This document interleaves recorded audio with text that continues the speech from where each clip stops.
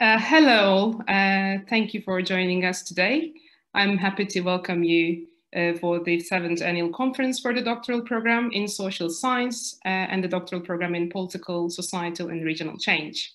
I'm Özlem Çelik. Uh, I'll be your host during the event and I'm a postdoc researcher at HELSUS and Global Development Studies discipline here in Helsinki University. I'm a human geographer working on the political economy of urban development and change, including the politics of urban economic relations, housing, state interventions, and urban social movements. And I also have a particular interest in qualitative research methods and design. And so the idea of this workshop appeared in one of our EXALT conference organization meeting as a part of bringing the possible methodological challenges that researchers face. And we, as a team at different stages of their academic career, including two of our PhD students, Sofia Hagolani-Albov and Theodora Harvey, and also the professor Anja Nygren, and me developed this idea for the workshop for the last couple of months. So this workshop aims to open a discussion on the topic of carrying out research in increasingly uncertain and sometimes even volatile conditions and explore some of the methodological transformations and uh, transformations we as researchers may undertake to meet these challenges. So the workshop will open with a panel discussion led by three panelists who will introduce some of the key challenges in social science methodologies based on their own experiences with data collection and analysis. After the panel presentations, we will have 10 minutes for a question and A answers, uh, answers part, and then the audience will go to one of the three workshops, including microscale quantitative analysis, text-driven documentary analysis, and ethnographic approaches. And our panelists will act as the facilitators in each room. So after your discussions in your selected group, we will come back together and our PhD representatives in each group will report back the discussions and each will have five minutes to do that. And then we will close the workshop. So I hope you will all enjoy the talks and the breakout room discussions. So before we go into the breakout rooms, I would like to invite our three speakers to give their talks. So each speaker have 10 minutes and I will kindly ask you to wrap up if you're going beyond the given time. So all of our speakers are based in the University of Helsinki. And our first speaker will be Anne Kouvonen, who is a professor in social policy and also honorary lecturer in social epidemiology in the Center for Public Health, Queen's University of Belfast. Anne's research focuses on the social determinants of health. Her research involves the application of social epidemiological methods and administrative record linkage, as well as large-scale prospective survey designs and RCTs. And she will be with you in the microscale quantitative analysis group. The second speaker will be Tuomas Ylä-Anttila. Uh, he's an associate professor in political science and Tuomas' research looks at climate change policy making and politics in a comparative perspective. He is particularly interested in the role of policy networks and media discourse networks in the making of climate change policy. And Tuomas will be with you in the text-driven documentary analysis group. And our last speaker will be Anni Kajanus, who is an assistant professor in social and cultural anthropology, and Anne is a specialist in the anthropology of China. Her research focuses on culture and cognition, morality, cooperation, competition and conflict, migration, education, gender and family. And she will be with you in the ethnographic approaches group. And uh, so the, our, I will invite the first speaker, Anne, uh, who is going to talk about the challenges of pragmatic RCT data collection during the COVID-19 pandemic. The floor is yours, Anne.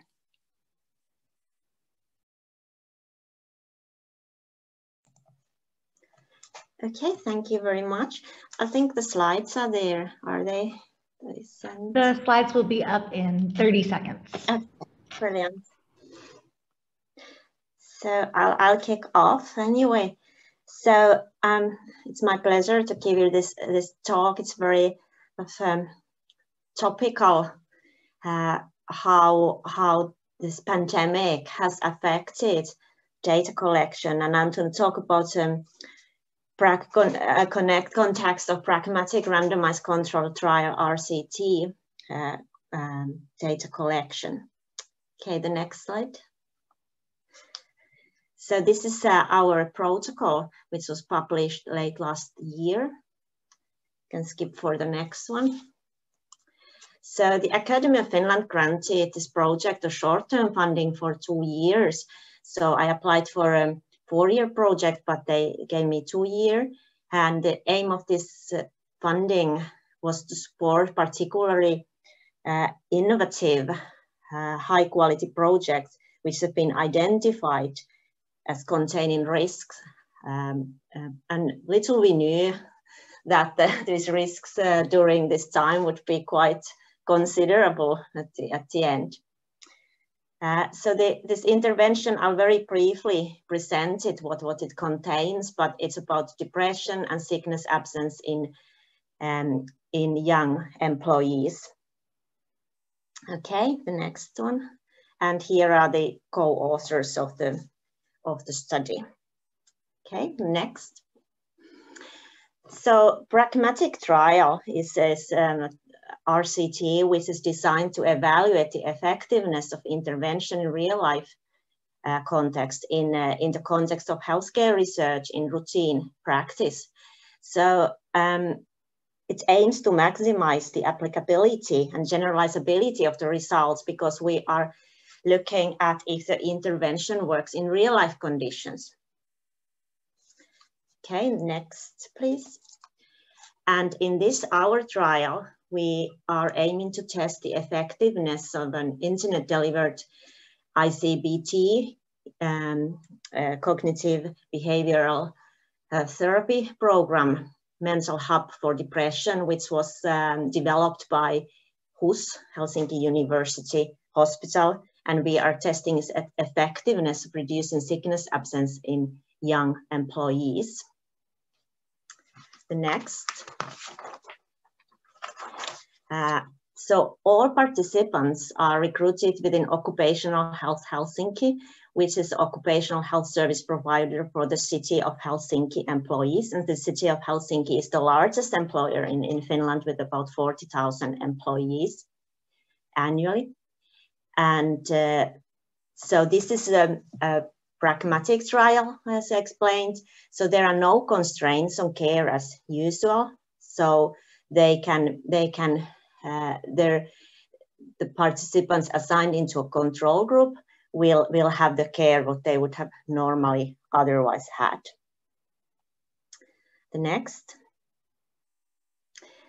And the recruitment uh, and the protocol, it, um, it is that psychiatric and occupational health nurses, there is about 40 of them in occupational health Helsinki, they will um, uh, recruit the participants and uh, they are nurses in occupational health system are the first point of call when the employee experiences mental health problems. Uh, we train the nurses to, to do this recruitment and started recruitment in October 2019.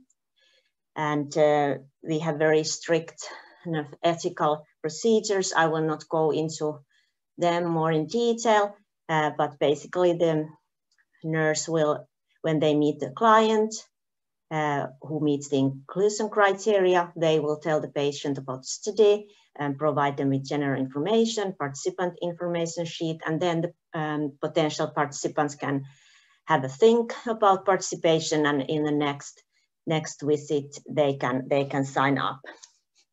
Okay, the next one. And uh, then if the participant signs the consent for, form, uh, uh, the nurse will assign them a randomization envelope to our research assistant had prepared following the randomization uh, protocol. And then the participant and the nurse will discover whether the participant is in a treatment group or a control group. And then they, if they are in the treatment group, they can get a referral to an ICBT program. The next. And our outcome is the sickness absence, and this comes from, uh, from the records um, from Kela, uh, sickness absence records plus the employees, uh, employee sickness absence, uh, the shorter uh, sickness absence periods from the, from the employer's records. Okay, the next, and, and the treatment is uh, one uh, one 60 minutes ICBT session per week for um, uh, normally seven weeks. And they can access the um, program or the software outside working hours.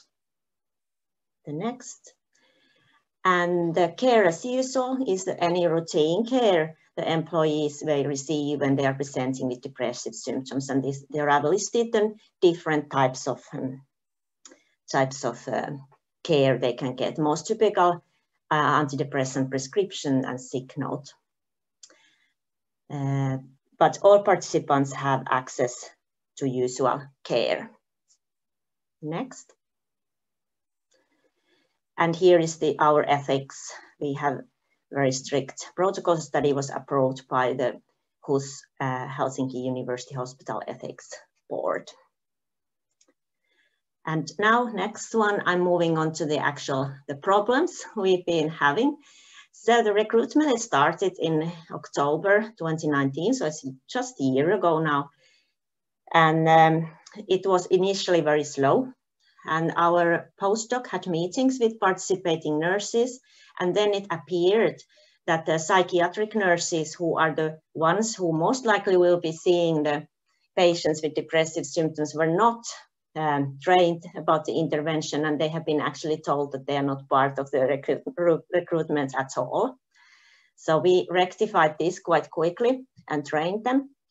The nurses seemed committed at that point, but they said that the extra workload is a problem. It takes time to go through go through the intervention with the patient and um, and it's it's difficult when they when they their, their patients are, are depressed, depressed and uh, there is lots to discuss in a, a short period of time. Uh, they were getting, nurses were getting several reminders from the chief physician and the head nurse. They're like bosses. They like really like five to 10 reminders every week almost. And then we also introduce incentives, lunch vouchers so, so far, so good.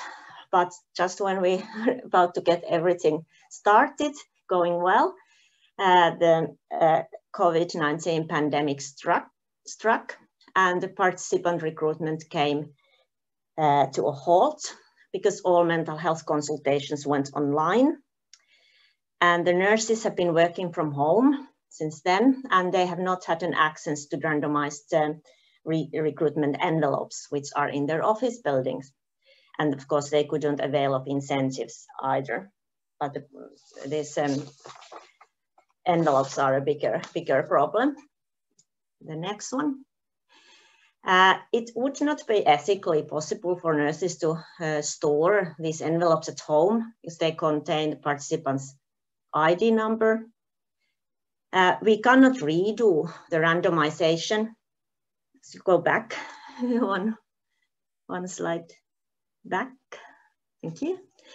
Uh, because a um, number of participants were already enrolled. So we cannot like run the randomization again and do it somehow like electronically that we wouldn't have any envelopes there. Uh, so the recruitment phase is going to take longer than we originally anticipated. We anticipated 18 months and the target N, which was very um, ambitious, around 500, will not be reached. That we are like sure now at this point. The next one. So then the solutions. Uh, we have like a few, um, we have a bit of a backup plan here. So first is to extend the recruitment period. So I've applied funding from the academy for this. Um, the second which we have already implemented that if remote consultations continue, but if the nurses return to office, because some of them have now returned to the office, patients are at home, consent forms can be uh, returned by email using their work email addresses. So nurses have been informed about this. Uh, but they are still telling us that the workload is very high and um, the situation is ex um, escalated there in terms of the mental health consultations due to the worries employees have over the over the coronavirus related issues. Uh, so the, then the next thing we can do, if, we get a really, really small sample, we can consider using um, exact statistics for statistical testing. This can be used to produce more reliable estimates when analyzing, analyzing very small data sets. There are some examples in the, in the literature for that. The next one. However, if the final sample turns out to be too, too small uh, for any kind of meaningful statistical analysis, we can still um, conduct research from implementation science perspective. And this alternative study would be to qualitatively investigate the use of strategies, strategies applied to integrate a mental health intervention within this organization, Occupational Health Helsinki. And again, there are there are examples um, in the literature for, for how to how to do that. So these are kind of the options we, we are left left with. Okay, thank you very much. Thank you very much, Anna. Thanks a lot. It was uh, very interesting to see how one of the research affected by COVID actually. So that thank you for sharing the insights of your research. Uh, and Tuomas, can we continue with you? Yes, sure. Um, okay, uh, so my research actually personally has not been affected that much by the pandemic. Um, so I'll, I'm taking a bit of a different approach here, uh, and and and I'll say a few words about things that I've things that I've heard about from other people's research, mostly a little something about uh, a survey that we'll be doing. Uh, we'll be doing with my team next month. Uh, so overall, I, I would just say you know, I've heard of both positive and, and negative impacts on on data collection of the pandemic. Uh, an obvious example of a negative uh, effect is a friend of mine who was going to go to Kalimantan, Kalimantan in Indonesia for his postdoc fieldwork, but couldn't go because he couldn't risk getting the virus here in Finland or more likely getting it in Jakarta on his way and taking it to these villages where people certainly don't have access to respirators or intensive care units or, or anything of that sort. So, so it became a research ethical question of very different sort, uh, I guess, from um, from those. Uh, yeah, it, it, was an important important research ethical question. There was no no way to to do that field work. So he came up with a workaround of doing online ethnography. Um, and he has luckily been always half an adventurous anthropologist and half a computer nerd. So he, he actually managed, he is managing it quite well, uh, but he had to change his research questions quite a bit. He had to change his, his, his approach quite a bit. And, and, and he's saying it's certainly slightly less exciting than hanging out in Indonesia, but, but he's managing. Um, um, but apart and, and apart from ethnography, it's of course uh, easy to imagine other data collection methods that are difficult or or slightly questionable now, such as putting people in in small rooms with eight, eight other other people to do a focus group interview uh, might also pose a risk for some people, let alone if you were to interview people who belong to risk, the so-called risk groups of, of this virus. Um, so so there's a lot that that gets on the way. Um,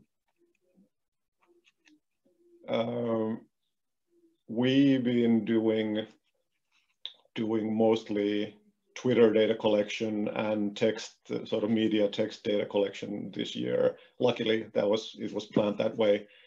So so and there we didn't we haven't encountered too many issues. Uh, we are planning to field a smallish elite survey um, next month. Uh, we were originally considering in the spring, but we didn't have to do it in the spring, so we, we said fall is better. Um, and uh, and we'll see how it goes. I'm I'm pretty confident that it'll be fine because I, you know, on the other hand, there's these obvious negative impacts and, and challenges. But on the other hand, I've I've also heard stories from last spring where people have been saying it's been actually much easier to get interviews with people in the spring because everyone was just you know sitting at home and apparently they were having more time to do things. So I don't, for some reason I didn't feel that way at all maybe it was partly because I had two kids home from the kindergarten and you know was taking care of them half days and trying to trying to put in a full day of work in the other half day.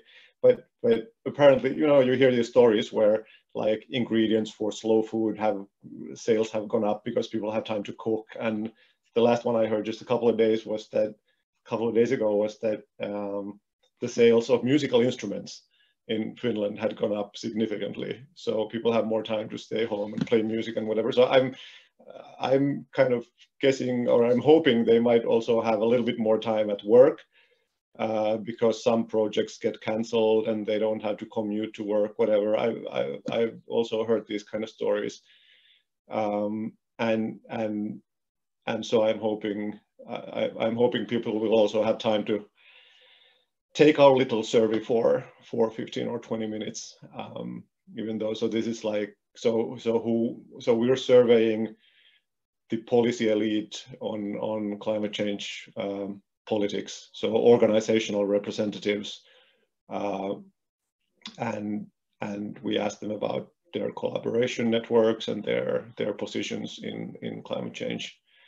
Uh, politics um, and but but for us response rates are super important because we're doing network analysis. So for other survey research it's important but for network surveys it's very very important to be able to capture most of the network actually. So so but finland luckily is a relatively easy country for doing for doing these kind of things. Um, so i'm i'm pretty sure it it'll go okay. Um, I'm observing there might also be some other advantages, like like an, another example is one of my MA students who is interviewing municipal civil servants in Finland. And so she can do her interviews on Zoom instead of traveling all around Finland and, and you know, record them directly on Zoom.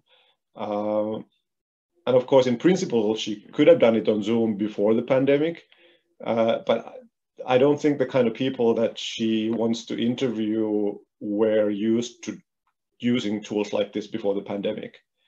I don't think they would have, you know, if she approached them and said, "Oh, I want to do an interview on this thing called Zoom," they'd be like, "Oh, what's that? I have no idea. I don't know. Maybe not." Uh, but now everyone's more or less used to this, so I think you know she'll be fine and and she'll save a lot of travel time and, and a lot of and a little bit of travel money um, and and and get good recordings uh, I think. And of course all, all this also applies you know to traveling uh, traveling around the world which is quite something. I mean now you could quite easily imagine that you would do interview research on Zoom to interview 30 people from different continents uh, and not have any travel budget or not have, you know, not have to worry about your carbon footprint flying around the globe doing these interviews. It's because, you know, everyone's used to Zoom. Why wouldn't they do an interview?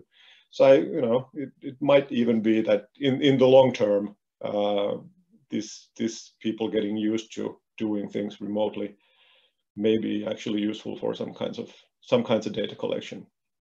Plus, of course, you get automatically you get also uh, video recording of the interview in case you're interested in the kind of analysis where you look at kind of micro interactions and you seeing people's people's faces and, and reactions to to your um, to your comments is important. Uh, yeah, so that's just a few potential or or actual positive negatives and positives that that came to my mind uh, on, under the current circumstances. I'll finish here. Thanks.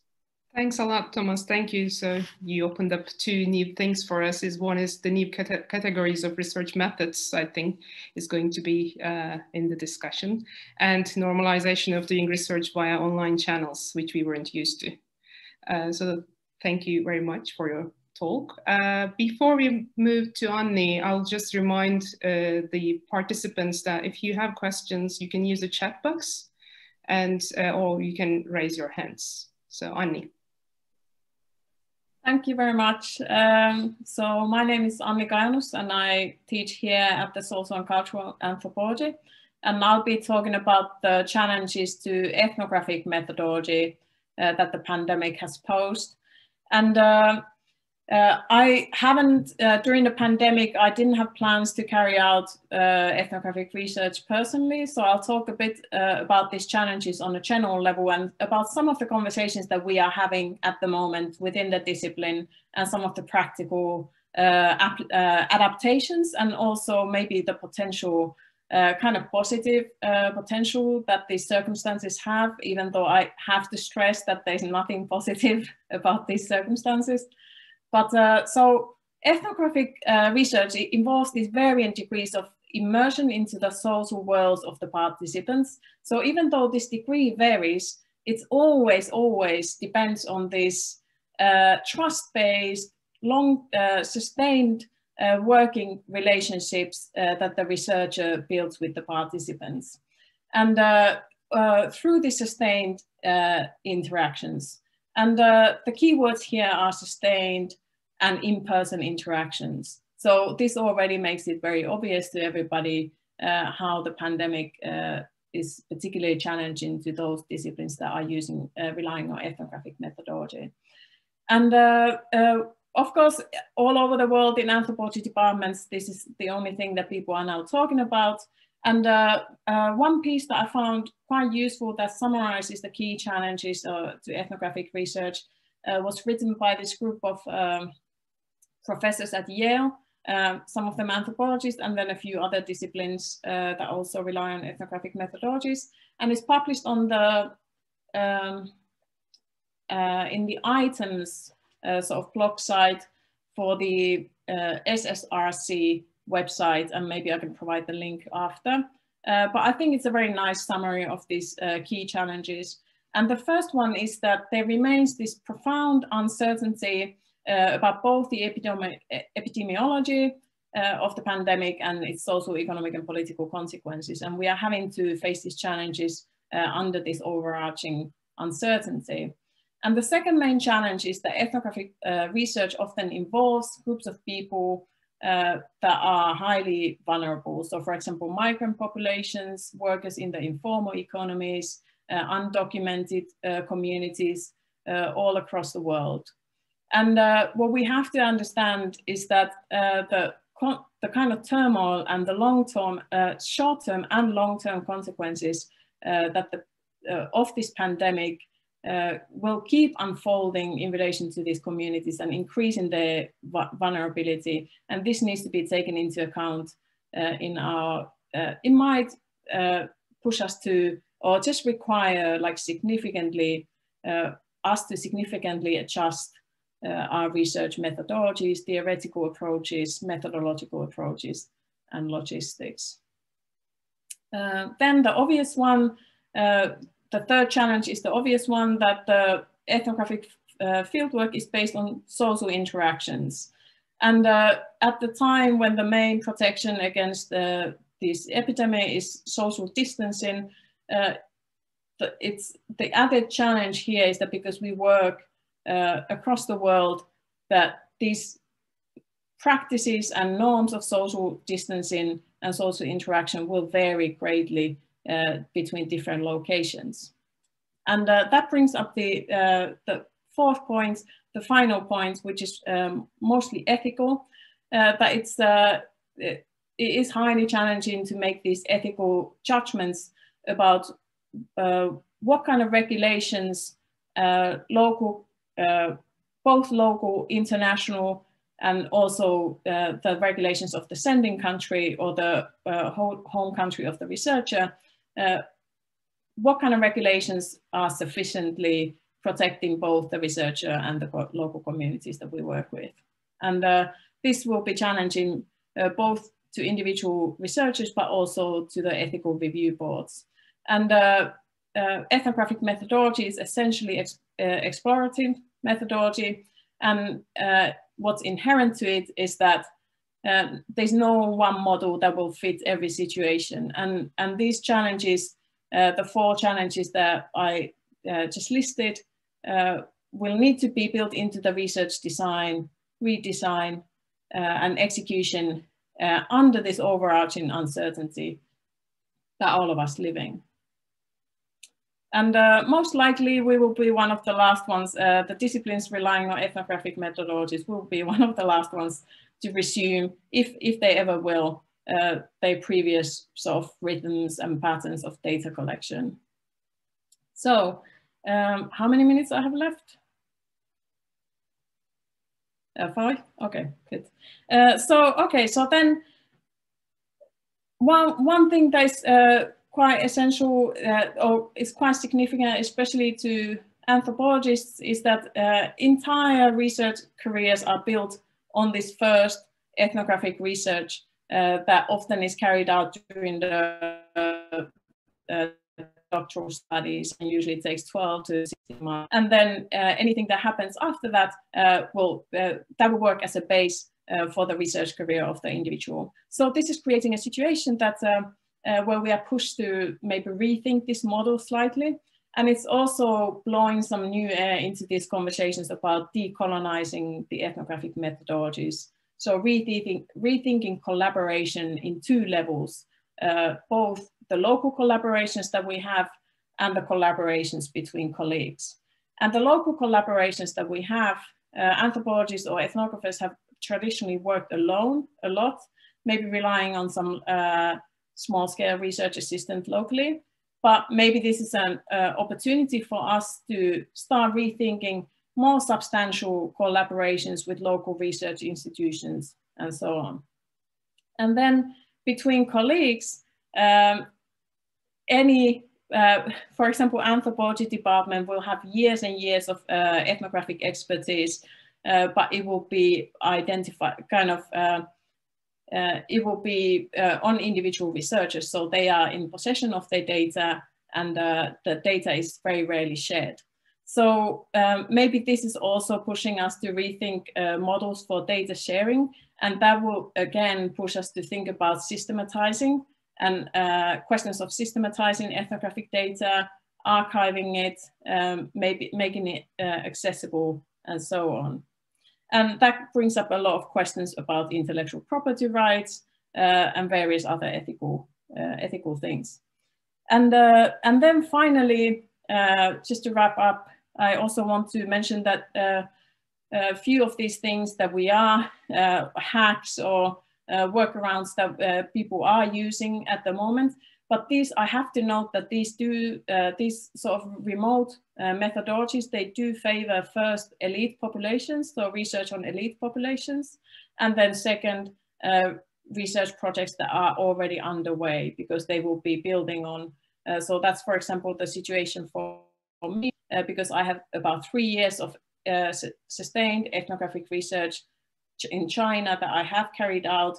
So now I'm able to collaborate, for example, with some of these uh, commercial ethnographic consulting uh, research institutions uh, who are able to collect data, for example, ask participants to record video diaries, uh, use these uh, online platforms for qualitative research.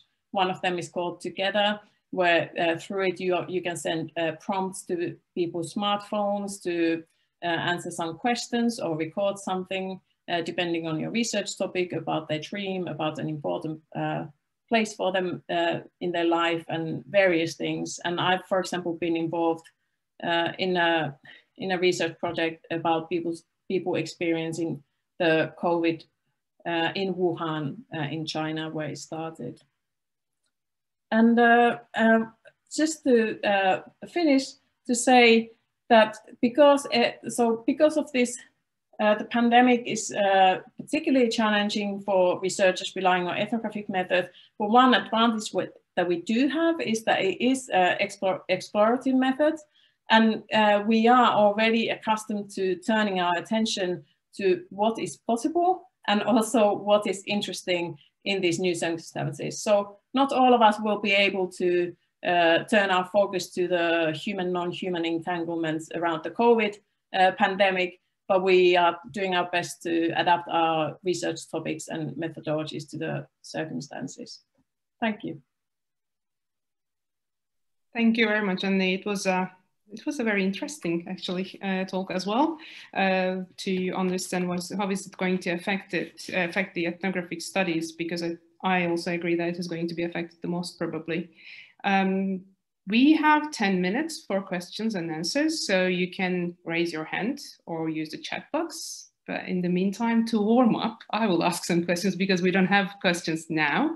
So, uh, so maybe you can think of other questions while I'm asking mine.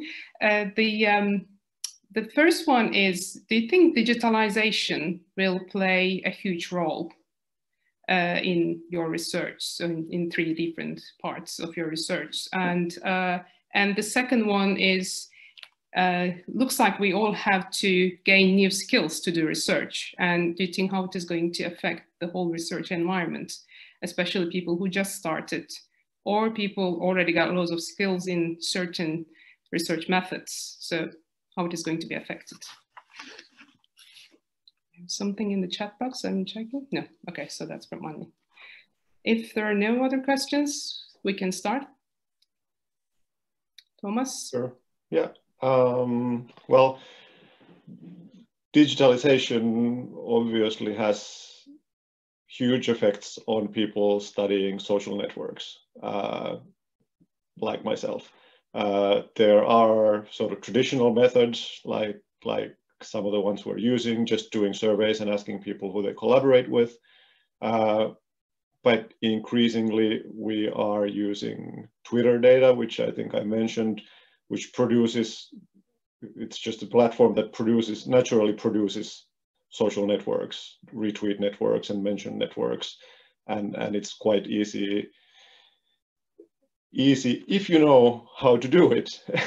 it's, an, it, it's an easy uh, data source.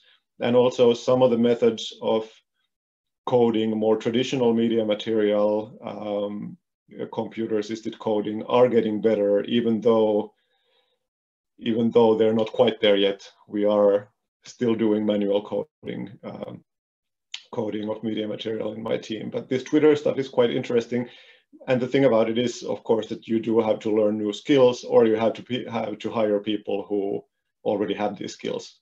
So I've hired people from the US, people from Japan, people from Ireland, with specific calls for social scientists who know how to know how to do some coding. Uh, and and you know if you have people like that, or if you can train to do yourself to do something like that, you there there's a wealth of data out there, of course, and and and then that that you can then analyze with I mean with the stuff that I know how to do. I can analyze it once someone someone knows how to get it for me. Thank you. Um, Anne, would you like to comment or yeah? Okay.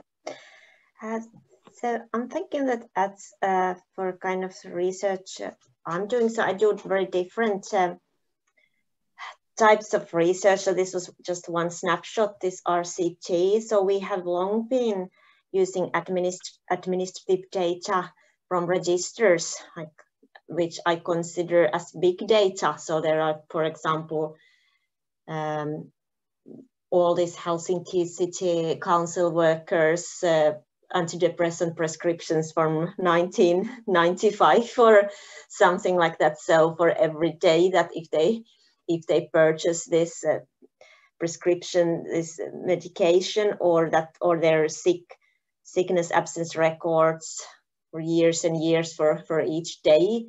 So I, I think this is this has been for, for this particular project a very helpful that we had a work package using just this register data where we did a kind of quasi experimental trial using just register data. So it's kind of an uh, salvaging this this the whole whole project that we had that part. So this admin data has uh, turned out to be extremely valuable. Then from the other kind of the more like subject specific uh, of view that I have a, a, strategic research council project on on um, uh, digital exclusion and marginalization, and that's become really, really topical, topical now.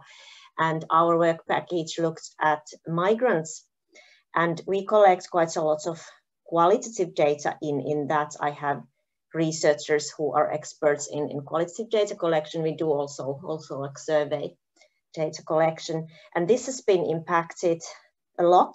And then because of the nature of the topic is digital exclusion, we cannot do Zoom interviews because we are trying to approach, approach let's say, an older migrants, many of them can't read, they cannot speak uh, Finnish or it's, it's very challenging and, and uh, um, kind of face-to-face interviews with interpreters would have been the, the best option, but we are trying to navigate navigate around it.